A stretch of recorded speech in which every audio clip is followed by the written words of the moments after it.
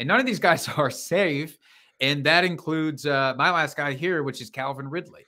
Not a safe player. I, I know people are very excited for his return. I'm excited for his return. Absolutely. I think it's bullshit that he had to sit out a year in the first place. But him moving from the Falcons to with the Jaguars, which is our like second favorite team now, we might as well change the colors of this thing from green and yellow to the Jaguars. No, colors. no, no. We're, we'll never do that. Okay. Well, maybe not never. Maybe we can just occasionally. Maybe like okay an episode or two. Maybe Yeah. like an episode we'll make it Yeah. a special uh, Jaguars color. Like the AFC. South. Sure. Yeah.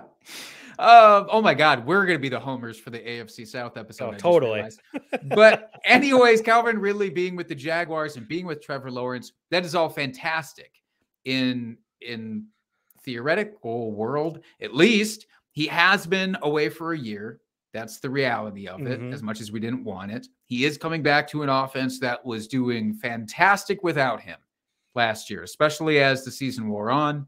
We saw basically what was true, a true rookie year for certainly Travis Etienne, who was injured in his real rookie year, and Trevor Lawrence had to deal with Urban Meyer and his bullshit his entire rookie year. I don't even count that as a year. That is, he had to babysit. He he wasn't even being able to quarterback. He had to like babysit that year.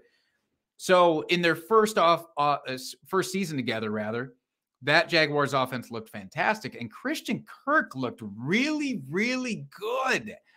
And I think people assume that Calvin Ridley steps into this offense and takes over and is the de facto number one receiver now. I don't see that as a given. Christian Kirk could absolutely retain that role, and which would not mean that Calvin Ridley is bad. Calvin Ridley could still mm-hmm. be fantastic as the second guy or the 1B, whatever you want to say. But in best ball, which is the only frame of reference we have for ADP right now, that's legitimate.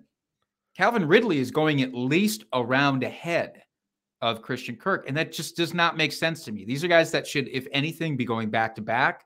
I think as the offseason wears on and we get to see more of Calvin Ridley out there, hype's going to intensify because we're just so excited for him to be back that I think his ADP is going to crest up. I think there's going to be a big gulf between Ridley and Kirk, in which case I'm going to be the guy taking Kirk everywhere.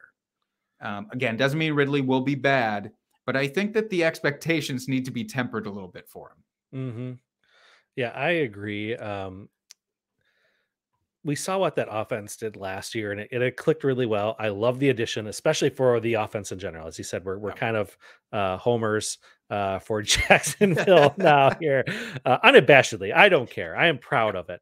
Um, but it'll be interesting to see how he fits in. Just knowing he's been out. Yeah, is he is he in football shape? I would assume so but we don't know. Uh, is he going to pick up on this offense? I mean, there's there's just a lot of question marks there. The the talent that he showed when he was with Atlanta was unquestionable. Like he he was awesome. Granted, that should still be there, but I don't know. It's a lot of question marks, and it'll be interesting to see how this team kind of how the ball gets distributed. You know, basically everything you said. I, I agree with you. Uh, not much to add there. Yes.